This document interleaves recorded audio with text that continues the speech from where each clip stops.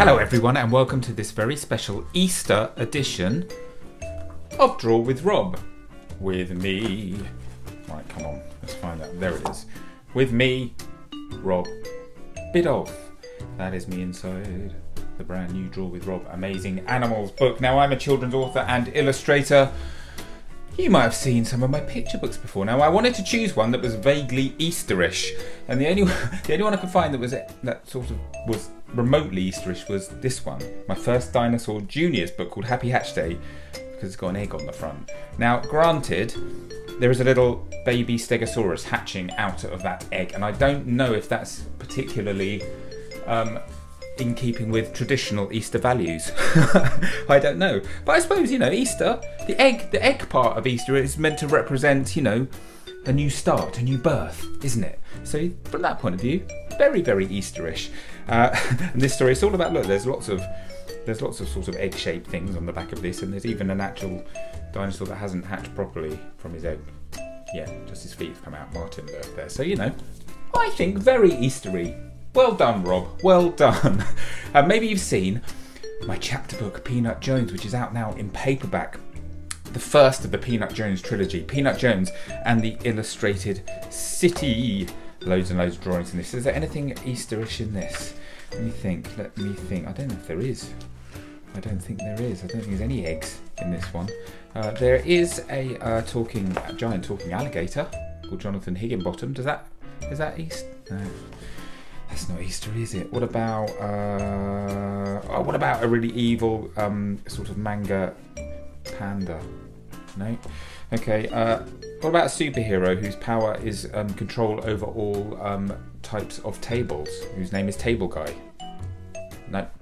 You know what? Maybe I should give up. But anyway, it's a fun story. Check it out if you like fun stories. But we are here today to draw a picture together, a special Easter e-picture together. And in the past, I've done a few Easter draw-alongs, haven't I? In the past, I have done.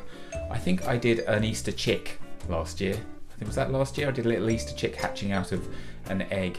And um, what else have I done? Have I done? I feel like I've done. Maybe I haven't done any other Easter ones. I've done a rabbit. I've done sort of a bunny. It wasn't particularly an Easter bunny, but sort of Easterish, isn't it?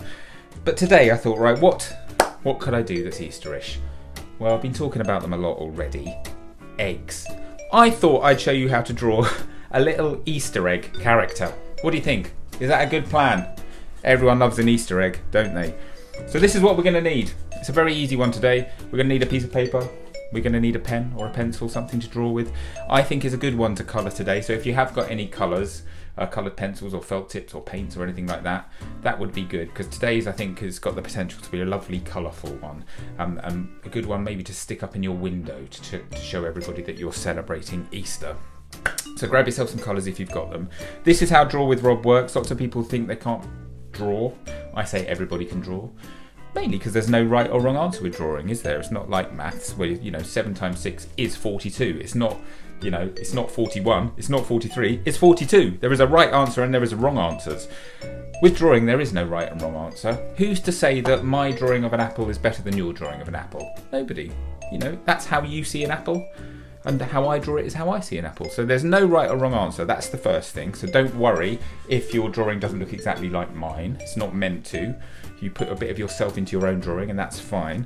Um, and uh, secondly, I think the main th- reason that people think they're not very good at drawing is because they're not sure how to go about doing the drawing. So if I was to show you one of my characters, one of these sausage dogs, for example, I might show you this one here with the funny fruity headgear, and you might think there's no way I can draw that, it looks far too complicated. But if I broke it down into little tiny shapes, like an oblong here, a circle there, a little line here, and showed you how to do it in order, then pretty soon you would end up with a drawing just as good as mine. So that's what I'm going to do today. I'm going to break this drawing of a little Easter egg character down into bite-sized pieces, no pun intended. And um, uh, I'm going to draw a little shape here and there. And you are going to pause the video. And so I will draw, you pause the video, you draw. I draw, you draw. I draw, you draw, I draw, you draw, I draw, you draw, I draw, you draw. And by the end we're going to end up with a drawing that we're super proud of. And it's quite an easy one today. And there's a fun bit at the end where you can add your own decoration to it. So, shall we start? Right. The first thing we're going to do is we're We're going to start sort of roughly at the midpoint of your page uh, in terms of its kind of vertical height. And what I want you to do is from the midpoint, slightly over to the right hand side, I want you to draw a semicircle. Quite big, like this, it goes down, around, and up, like that. So like a big smiley mouth in the bottom half of your piece of paper, starting from the midway point. Okay. Some people find egg drawing drawing an egg shape quite difficult, so I think it's better to break it up into two halves. So the bottom half is like a semicircle, and the top half is like a pointed semicircle, slightly pointed semicircle, not dead pointed, because that would look more like a teardrop than an egg.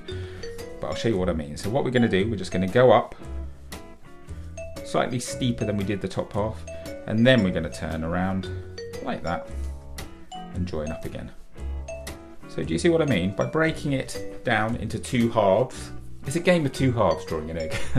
the bottom half, sort of perfect semicircle, top half, slightly pointy semicircle. There you go. We've got a lovely egg shape. Now, it'd be good, wouldn't it, if I just finished there? That's the end of your Draw with Rob episode. This is how you draw an Easter egg. Done. Bye bye, see you next week. That would be funny. I wish I'd done that. That would be super funny. But I thought it would be more fun to make our character a little, uh, into make our egg into a little character.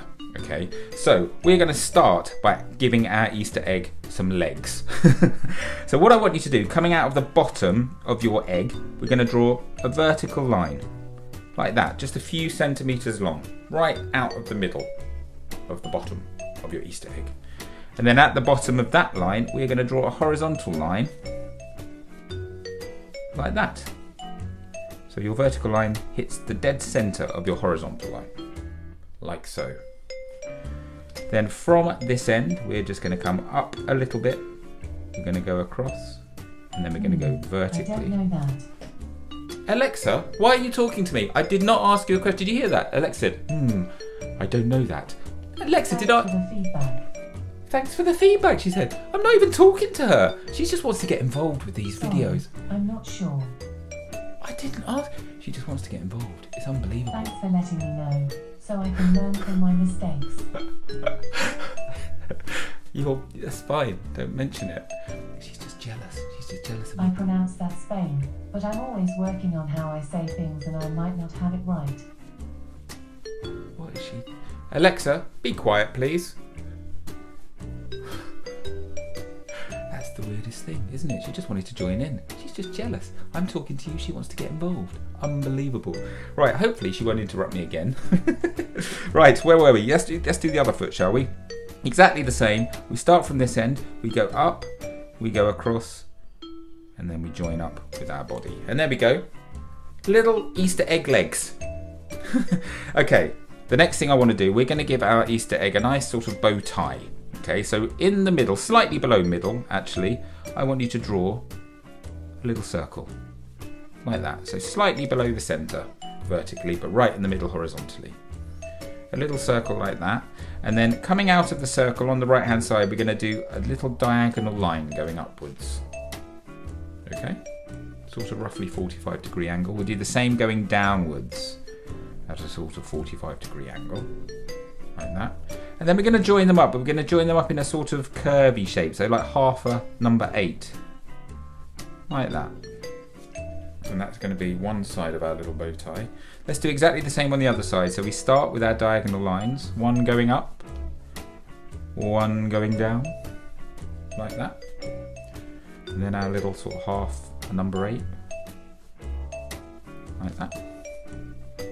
And then to make it a little bit more bow tie-ish, you just add a little line there, and a little line there, and then the same on the other side. There you go. Perfect little bow tie. Let's add a little ribbon going around our egg. So we're just going to do two horizontal lines going to that side, two horizontal lines going to that side, and then maybe we'll just carry that on through like that. So it's like a ribbon with a little bow tie in the middle of it. Okay. Let's give our little Easter egg some arms. We're going to do one arm coming up here. Make them roughly the same thickness as the leg, okay?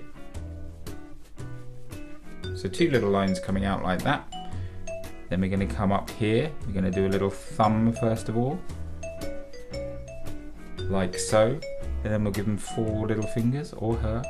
One, two, three, four.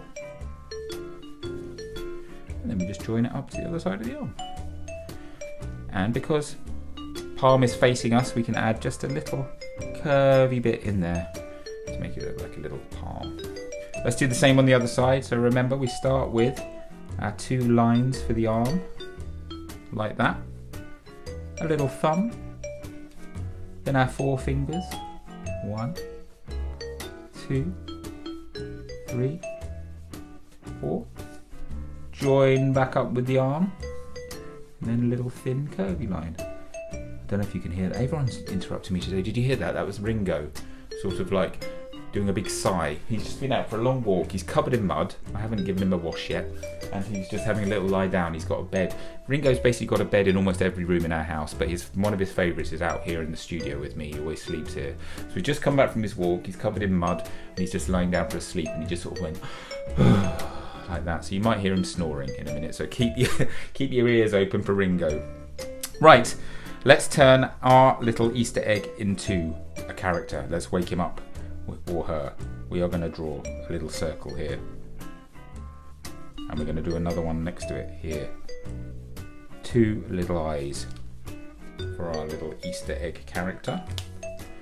In the middle of those circles, two more circles. This time we're going to colour them in. Actually, do you know what I'm going to do this time? I'm going to add another circle there and colour in around it.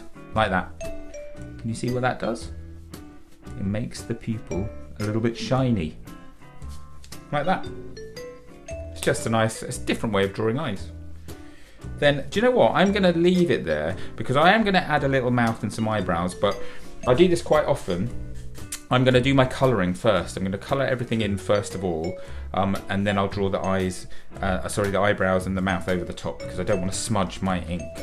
So that is the basic shape, the basic outline of our Easter egg. I told you it was a nice easy one today. This is the really fun bit though, the colouring, okay? Because I want you to go crazy. Easter eggs are, people paint Easter eggs, don't they? It's a thing that people do. It's not. It's only relatively the chocolate egg thing is relatively. Uh, it's relatively recent than that happened. I think the first chocolate egg was made. Uh, it was only made. You know, 150 odd years ago.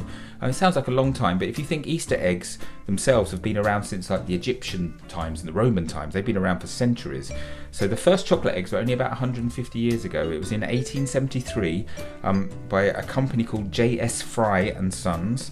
They made the first chocolate egg, and then a guy called John Cadbury, you might recognise that name, Cadbury, who uh, started the Cadbury's Chocolate Company. A couple of years later, he started making chocolate eggs, and their company was much bigger, so they, they made loads and loads of them, and that's when the whole chocolate egg thing really took off. But before that, people just used to get regular eggs and used to paint them all different colours.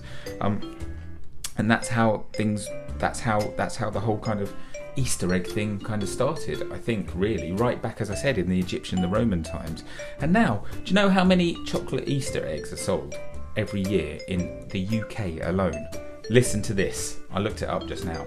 80 million Easter eggs are sold every year.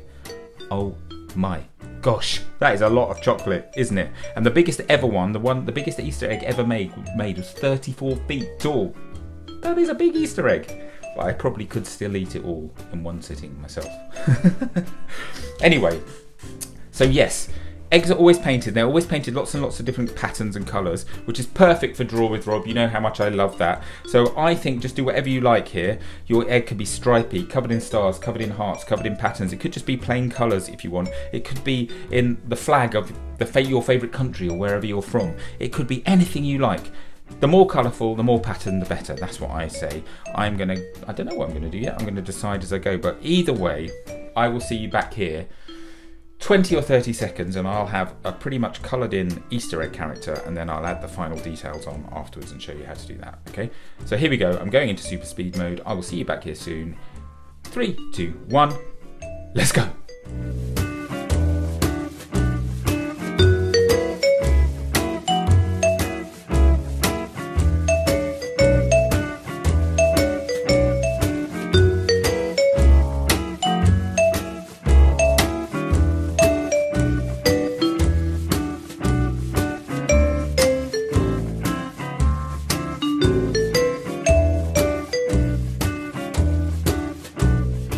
So there's my Easter egg character. I've done quite a lot of colouring. I've had a lot of fun doing this one. Uh, so you can see I've gone for sort of the chocolate. It's a chocolate egg. It's mainly a chocolate egg. So you know, top half is the nice sort of rich brown chocolate colour for our chocolate Easter egg. And then I've just gone crazy with the patterns.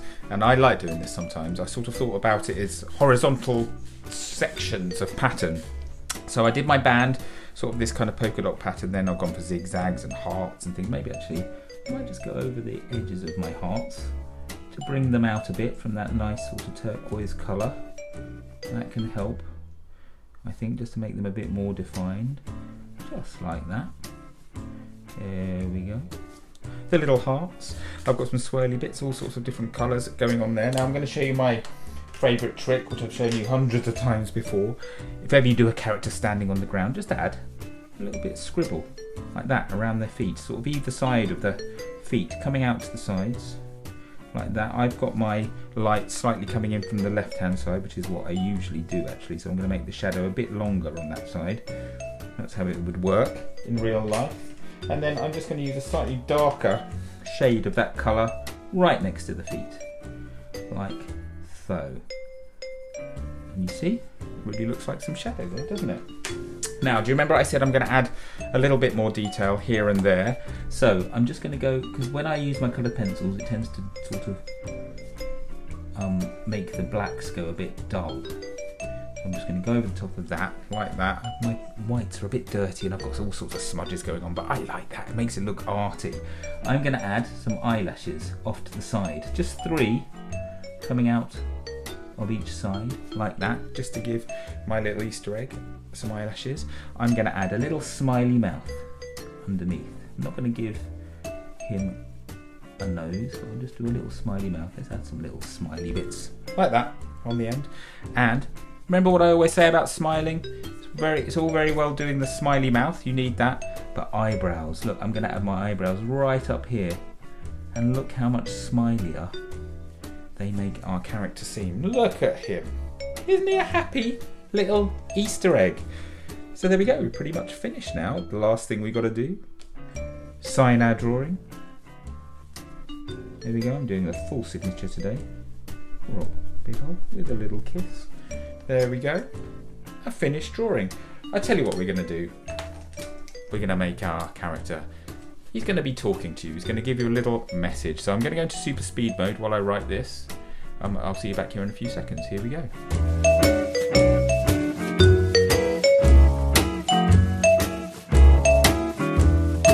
There we go. A little happy Easter message from my Easter egg character to all of you. Now, listen, I really hope you've enjoyed drawing this Easter egg with me today. Um, I would like to see your drawings. I, I just know there's going to be some amazing ones this week.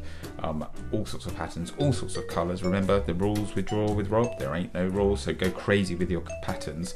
Get your grown up to take a picture of your drawing and then post it using this hashtag draw with Rob. That way I will get to see it. If you're watching on Facebook, you can just comment with your picture in the comments below.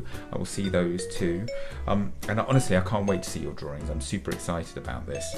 Um, what else can I tell you? Yes, don't forget to, if you subscribe to my newsletter at this email address, then you will get a notification when a new Draw with Rob video is about to drop. I'll send that out the day before or a couple of days before. Um, and it's totally free to sign up and no spam, I promise. Um, if you're watching on YouTube, don't forget to uh, subscribe to my channel. Turn your notifications on, then you get told when a new video is coming. Um, and as I said earlier, hang around to the end of this video and you get to have a look inside the latest Draw with Rob book, which is called Amazing Animals. Um, until I see you next, which will be very soon, I'm going to be back very soon with a new video. I just want to say um, thank you so much for tuning in today and drawing with me. Um, uh, I want to wish you all a very happy and healthy Easter. I hope you have fun, have a nice break from school. Uh, don't eat too much chocolate, okay? You'll be sick. Trust me, you will be sick. make them last. That's what that's what my daughters do. They make them last, and they never give me any, so they last for ages. so don't go too crazy, but have a lovely, lovely Easter. I'm going to be be back very soon with a new video. Until then, keep those pencils sharpened and take care of yourselves. Bye, everyone.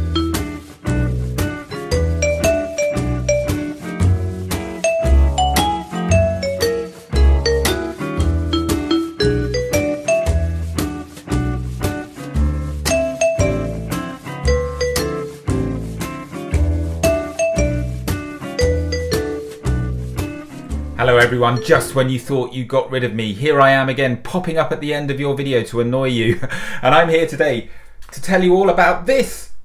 The brand new Draw with Rob activity book and it's called Amazing Animals. And that's because it's full of loads of amazing animals.